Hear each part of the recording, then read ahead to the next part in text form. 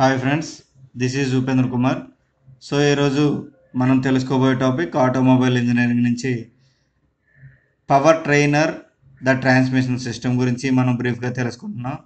So ఈ topics అన్నీ కూడా చెప్పేవి అన్ని సబ్స్క్రైబర్స్ ఒక్కొక్కరిగా మరి పలానా టాపిక్ చేయండి అని చెప్పి అడుగుతూ ఉన్నారు. సో వారికి అనుగుణంగానే ఈ టాపిక్స్ చేయడం జరుగుతుంది. అదేవిధంగా ఇంకా చాలా టాపిక్స్ అడిగారు. సో అవి కూడా ఒక్కొక్కటిగా చేసి అప్లోడ్ చేయడం జరుగుతుంది. మరి సబ్స్క్రైబర్స్ మరి ఈ విషయాన్ని దృష్టిలో ఉంచుకోవాలి. సో ఈరోజు మనం చెప్పుకోబోయే topic power ట్రైనర్ది transmission system. So transmission system అనగానే మనకి ఆటోమొబైల్ ఇంజనీరింగ్లో ప్రతి వెహికల్కి కూడా ఒక ట్రాన్స్మిషన్ సిస్టమ్ ఉంటుంది. టూ వీలర్స్కి కానీ ఫోర్ వీలర్స్కి కానీ సో ఈరోజు మనం చెప్పుకోబోయే టాపిక్ ఫోర్ వీలర్స్ యొక్క ట్రాన్స్మిషన్ సిస్టమ్ గురించి తెలుసుకుంటున్నాం. అంటే మన కారు బస్సు లారీ ఇలా ఏవైతే ఫోర్ వీల్స్ ఉంటాయో వాటి యొక్క ట్రాన్స్మిషన్ సిస్టమ్ ఎలా ఉంటుంది అనేది ఒక బేసిక్గా మనం తెలుసుకుందాం. అసలు ట్రాన్స్మిషన్ సిస్టమ్ ఎందుకు వాడతారు? ఎందుకు వాడతారు అంటే the power from an engine. Engine నుంచి వచ్చే power is transmitted equally between the driving wheels.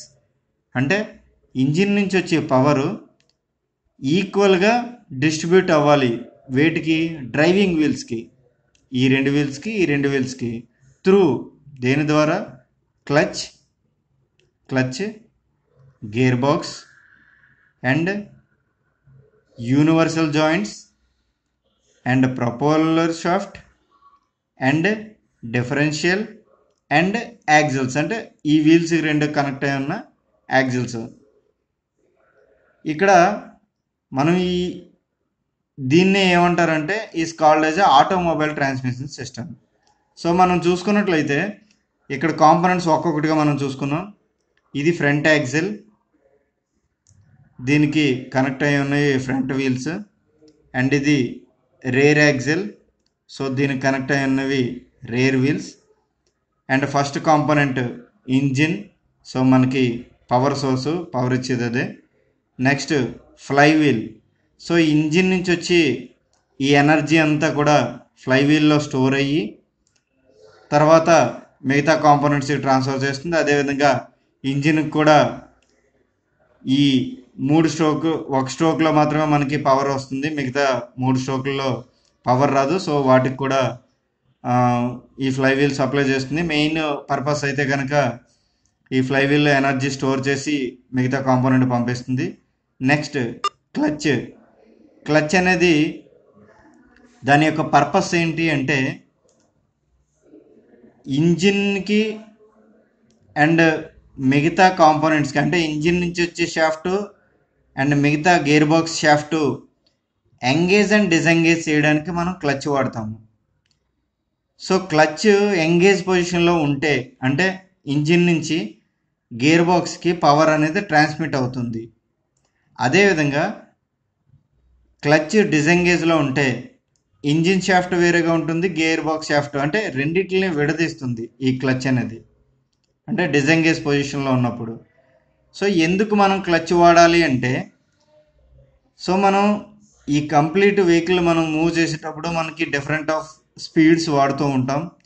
So ఆ స్పీడ్స్ వాడినప్పుడు ఇంజిన్ నుంచి వచ్చిన షాఫ్ట్ మంచి హై స్పీడ్లో ఉంటుంది.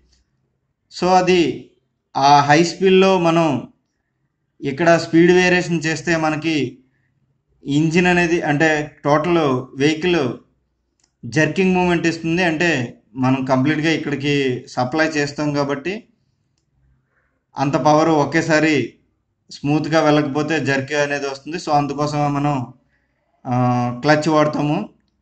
ఎప్పుడైతే మనం ఈ స్పీడ్ వేరియేషన్ చేస్తామో అప్పుడు క్లచ్ డిజంగేజ్ చేసి అంటే ఇంజిన్ షాఫ్ట్ని గేర్ బాక్స్ షాఫ్ట్ని వేరు చేసి మనం ఏం చేస్తామంటే స్పీడ్ వేరియేషన్ చేసి మళ్ళీ క్లచ్ని ఎంగేజ్ చేసేస్తాము. సో ఇది క్లచ్ చేసే పని. అండ్ ట్రాన్స్మిషన్ సిస్టంలోకి వచ్చేసరికి ఈ transmission gear box so different types of gear box మనకి అవైలబుల్గా ఉన్నాయి. సో మనకి వాడి స్పీడు అండ్ లోడు అండ్ కెపాసిటీని బట్టి మనం ఈ గేర్ బాక్స్ని సెలెక్ట్ చేసుకుంటాము. అండ్ యూనివర్సల్ జాయింట్స్ ఏంటంటే మనం ఈ ఏదైతే పవర్ ఉందో దాన్ని మనం యాంగులర్స్ యాంగులర్ మూమెంట్లో మనం సప్లై చే ట్రాన్స్మిట్ చేస్తూ ఉంటాము. సో ఇది universal joint a universal joint is used where two shafts are connected at a angles to transmit torque అంటే రెండు షాఫ్ట్లో కూడా యాంగిల్స్లో కనెక్ట్ చేసి ఉంటే అప్పుడు పవర్ ట్రాన్స్మిట్ చేయడానికి మనం యూనివర్సల్ జాయింట్స్ వాడతాం. ప్యారలల్గా ఉంటే నార్మల్గా కనెక్ట్ చేస్తారు. కానీ యాంగిల్స్లో ఉంటే మాత్రం యూనివర్సల్ జాయింట్స్ వాడతాం. టూ షాఫ్ట్స్ యాంగిల్స్లో ఉంటాయి. ఓకే. నెక్స్ట్ ఇది propeller shaft so propeller shaft ఏంటంటే ఈ లెంగ్తీ ఉన్న అది ప్రొపెల్లర్ షాఫ్ట్ అంటే ఒక హాలో షాఫ్ట్ ఓన్లీ పవర్ని ట్రాన్స్మిట్ చేయడానికి ఈ ప్రొపెల్లర్ షాఫ్ట్ వాడుతూ ఉంటారు. ఈ గేర్ బాక్స్ నుంచి మన రేర్ యాక్సిల్ వరకు కనెక్ట్ చేయడానికి ప్రొపెల్లర్ షాఫ్ట్ వాడతారు. And differential. సో డిఫరెన్షియల్ ఏంటంటే మనకి ఇక్కడ మెయిన్గా ఇంజిన్ నుంచి వచ్చి ఈ పవర్ షాఫ్ట్ ఏంటంటే ఇలా ఈ డైరెక్షన్లో రొటేట్ అవుతుంది. కానీ మనకి రేర్ యాక్సిల్ ఈ రేర్ యాక్సిల్ అలాగా ఈ రొటేషన్లో చేయాలి. సో ఏంటి? Perpendicular ninety degrees. So perpendicular ninety అంటే పెర్పెండిక్యులర్గా ఉంది అదే నైంటీ డిగ్రీస్లో మనకి పవర్ అనేది ట్రాన్స్మిట్ అవ్వాలి. ఫస్ట్ ఫంక్షన్ అది. రెండోది ఏంటంటే మనకి టర్నింగ్ అయినప్పుడు సో వెహికల్ టర్నింగ్ అయినప్పుడు రెండు వీల్స్ కూడా సమానంగా సేమ్ స్పీడ్లో రాకూడదు టర్నింగ్ అయినప్పుడు. సో అలా వెళ్తే కనుక మనకి వెహికల్ బ్యాలెన్స్ తప్పే అవకాశం ఉంది. సో అలాంటప్పుడు ఏంటంటే ఇన్నర్ వీల్ ఏదైతే ఉందో అది స్లోగా వెళ్ళాలి. స్లోగా తిరగాలి. అండ్ అవుటర్ వీల్ ఏదైతే ఉందో అది నార్మల్ స్పీడ్లో కానీ కొంచెం తక్కువ స్పీడ్లో కానీ వెళ్ళాలి. సో ఆ ఫంక్షన్ని డిఫరెన్షియల్ అనేది టేక్ కేర్ చేస్తుంది అనమాట సో రెండు ఫంక్షన్స్ డిఫరెన్షియల్ అనేది. ఒకటి ఈ ఇంజిన్ నుంచి వచ్చే షాఫ్ట్ యొక్క పవర్ని పర్పెండిక్యులర్గా ఉన్న మన రైట్ యాంగిల్స్లో ఉన్న రేర్ యాక్సిల్కి ట్రాన్స్మిట్ చేయాలి. రెండోది టర్నింగ్స్ తీసుకున్నప్పుడు ఈ వీల్స్ని అంటే వెహికల్ ఇంబ్యాలెన్స్ అవ్వకుండా ఈ ఇన్నర్ వీల్ ఉన్నాయి ఏదైతే దాన్ని తక్కువ స్పీడ్లోని అండ్ అవుటర్ వీల్ ఏదైతే ఉందో దాన్ని నార్మల్ స్పీడ్ కానీ తక్కువ కొంచెం దానికన్నా తక్కువ స్పీడ్లో కానీ రొటేట్ అయ్యేలా చేసే ఒక డివైస్ డిఫరెన్షియల్ అండ్ తర్వాత ఇది రేర్ యాక్సిల్ అంటే బ్యాక్ సైడ్ ఏదైతే ఉందో ఆ రేర్ యాక్సిల్కి కనెక్ట్ అయ్యి దానికి వీల్స్ కనెక్ట్ అయి ఉంటాయి. అదేవిధంగా ఫ్రంట్ కూడా ఇది ఫ్రంట్ యాక్సిల్ సో దానికి కూడా ఫ్రంట్ వీల్స్ కనెక్ట్ అయి ఉంటాయి.